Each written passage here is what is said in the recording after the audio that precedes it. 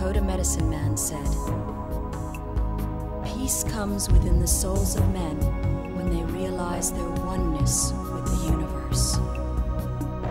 When they realize it is really everywhere,